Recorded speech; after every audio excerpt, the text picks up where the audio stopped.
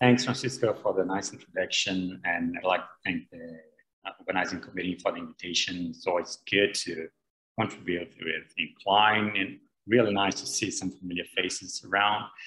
So I'm going to start sharing my screen already and then we can talk.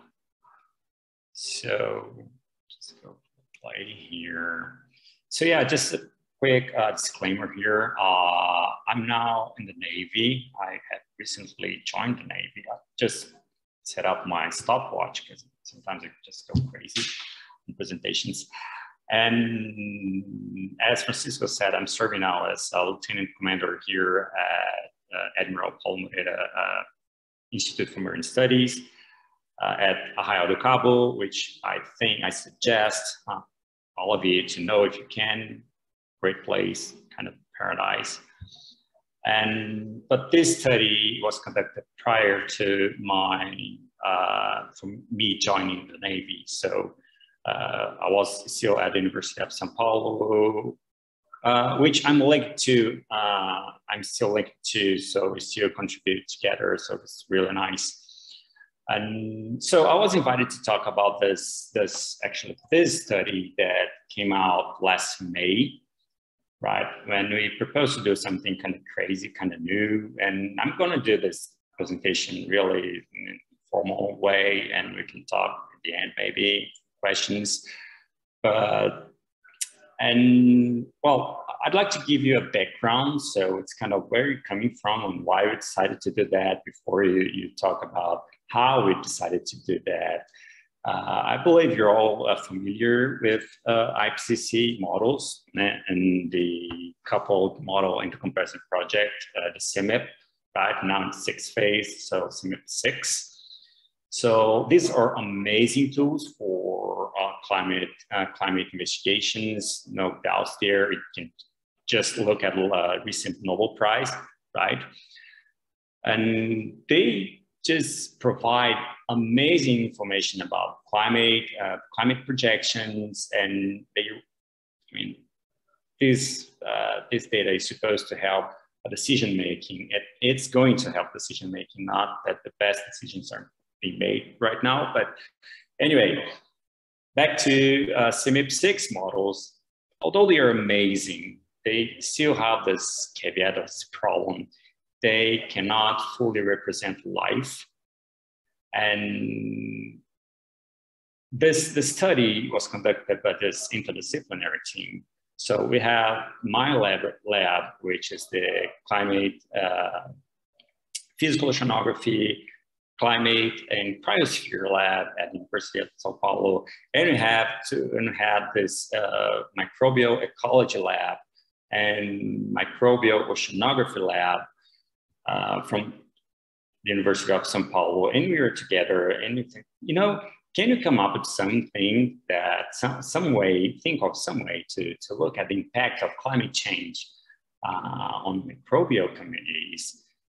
Uh, but the problem is these models just can't represent these microbial communities. So what can we do? So we go, so yeah, the, the, the goal was uh, of this study was to try to come up with something to, to, to think of this potential impacts of sea surface warming on these uh, microbial communities.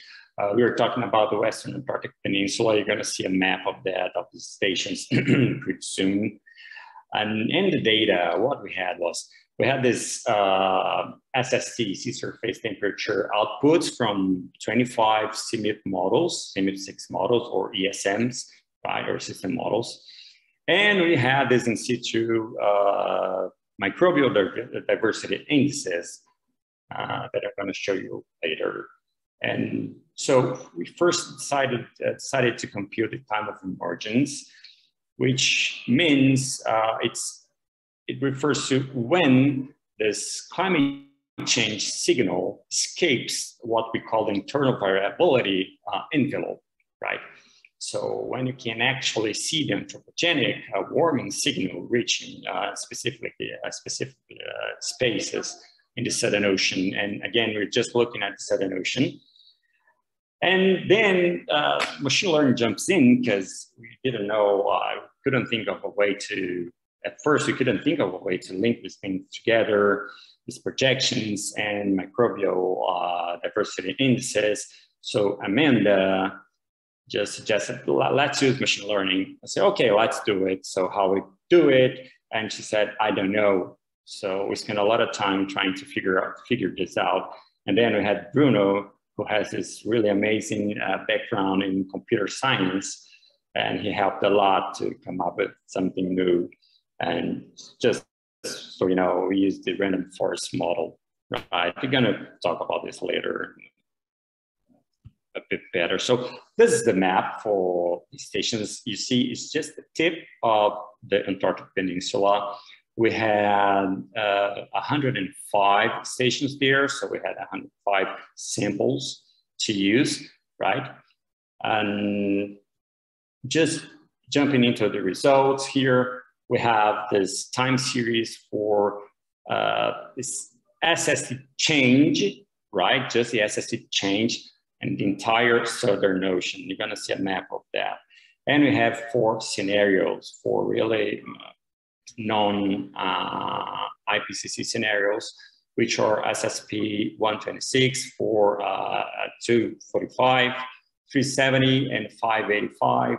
As you can see, the more sustainable scenarios are in blue, and the higher emission scenarios are in kind of orange and reddish, I guess, right? These are uh, annual means for the entire Southern Ocean, and the thin lines are just uh, individual runs, and the thick lines are the kind of, let's call it ensemble models, right? Uh, or ensemble means, I'm sorry. So we have this change, and it's pretty clear that uh, the higher emissions, we are supposed uh, to expect uh, higher changes, right? More intense changes in temperature or at sea surface temperatures in the Southern Ocean. And yeah, that's it. And then we just go for the toy. I, I like to call it toy because, you know, the time of emergence, because, you know, tow or, or tolls wouldn't sound really nice. So let's go for toys. And you can look at the upper left. It's uh, what you see here is a map of when the anthropogenic signal is supposed to hit the surface of the Southern Ocean, right? We have decades there. So everything that's in, uh, in gray there, let's see if my pointer is showing here. I just came, try to get biggest pointer I could uh, find. And you see, we're just expecting to see, at least in this part here, uh, some actual uh, anthropogenic uh, warming to hit Antarctica by the end of the century in this scenario, the sustainable scenario. And then just go across scenarios and look at uh, SSP 585 and it's pretty clear what's going on here. So uh, with a higher pressure, we're expected to have this really earlier toys hitting uh, Antarctica. The problem is we have this, everything is seeing these uh, white areas here, except for the ice shelves. We have two big ice shelves here, but everything is you're seeing in white here uh, are zones that aren't expected to see any anthropogenic warming by the end of the century, right? In the sustainable scenario.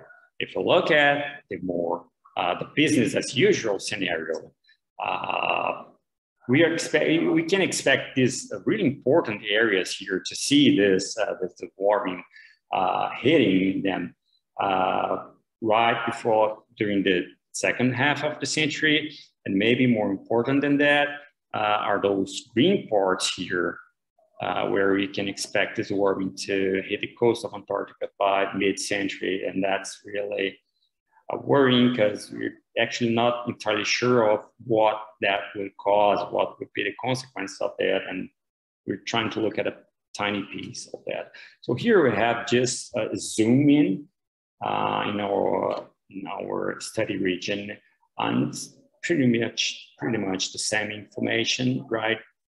We see that uh, in the, the, the, the, sustainable scenarios, we can expect uh, this, this anthropogenic warming to hit uh, the surface by the end of the century.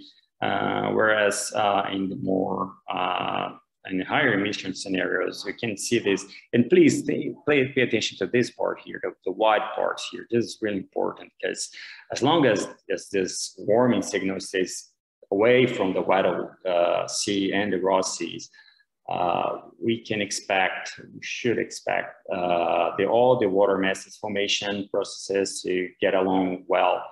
And this is a problem here, right? When you see this, this, this warming at the surface, uh, this may be a problem. And now I'm talking about climate in a global scale here, because this could impact uh, the deep water formation. And that's a problem for all the Earth heat budget and things.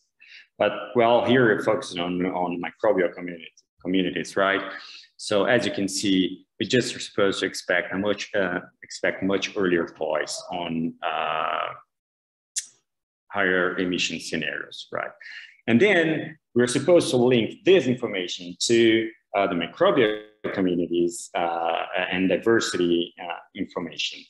And that's where the machine learning uh, uh, came in place. Uh, so this here to the left, we're seeing a map pretty similar to that first map.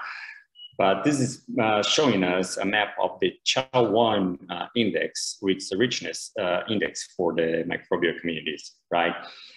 we have a sequence of three or four years of observations here. So it's pretty much a snapshot, right? And then we have the projections or predictions done with the random forest uh, machine learning models, right? Just so you know, we had uh, 105 samples. So for to train the machine, we have to use something around 80% of these uh, samples. And we do it, and we use the last 20% to test the, the model. And you do that many, many, many times until you get a quite good prediction the model. So here I can give you, we use something around a thousand uh, runs to train the, the, the, machine so it could get a reasonable uh, response.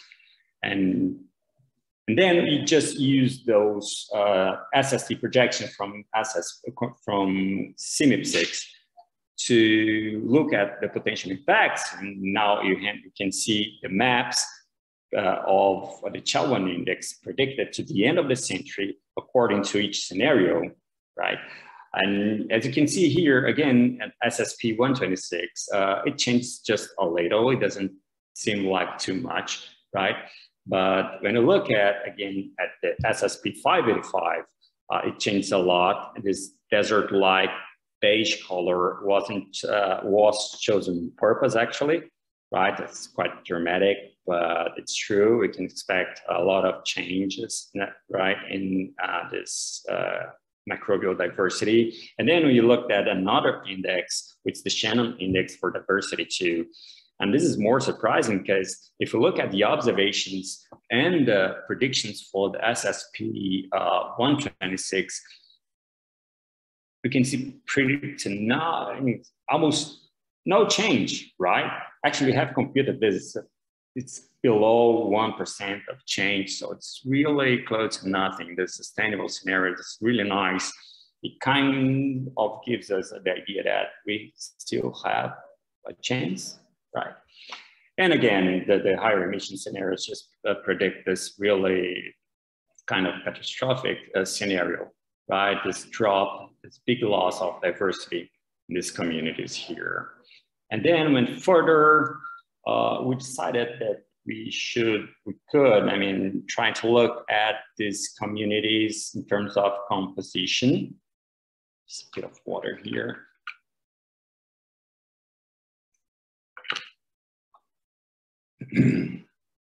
and so again, to the left, you can see the observations and each color represents uh, a different group within this uh, community samples, right? Uh, we have here below, we have the temperature. So we see they, they tend to, we have different distributions uh, within different uh, temperature ranges, right? And then we use this uh, composition here and we used the model and had to run the, uh, the random forest model again for thousand times and to, to, to look at what could happen to this composition uh, throughout the 20, uh, 21st century. And it's quite interesting because what this is showing us here is that, again, for the sustainable scenarios, we can expect little to none uh, change, right? Uh, is it is it's like uh, things would just remain uh, the same.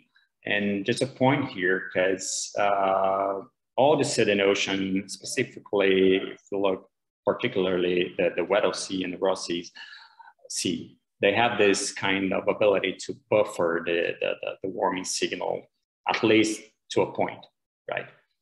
And it seems that this is what's happening here. If we're expected to see a little uh, warming, some, there's some warming, but just a little warming, that wouldn't, uh, that wouldn't be a problem, basically. But whereas if you look at those uh, higher emission scenarios, both of them, uh, we could expect, we can expect things to change, right?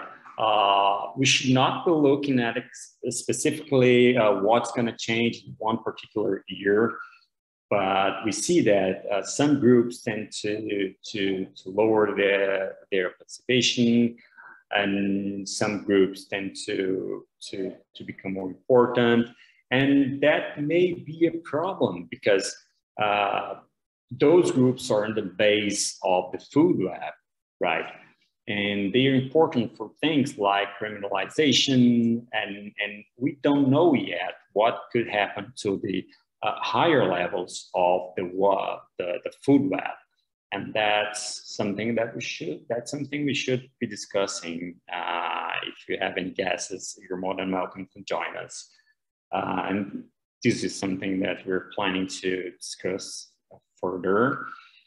And well, then just to sum up everything, uh, we've seen that these higher emission scenarios project earlier toys, right? It, it, it makes sense. Uh, but on the other hand, uh, these sustainable, uh, sustainable scenarios kind of gives us this idea that the Southern Ocean would keep his ability to, to keep this warming away from that uh, very particular community and that environment. And again, if we think that in these sustainable scenarios, uh, we can could expect really close to known changes in this diversity indices, I wonder, do, do, would, would, would we just stay within this internal variability envelope uh, and that's a question, uh, that's my guess, but that's more for you to think about, right? And finally, we've seen that these SST changes uh, tend to impact different groups in different ways, right? But it's not all about SST changes. We have other variables that we haven't looked at uh, yet. We tend to, like salinity and pH. And that's why I'm really interested in biogeochemical modeling because I want to see what we could expect from this side of the story of the oceanography and climate system. So we can go further uh, in this kind of investigations. And I think that's it. I'd like to thank you all. You can easily find me on these emails. Thanks. And almost 20 minutes. I'm good in time. I tend to run.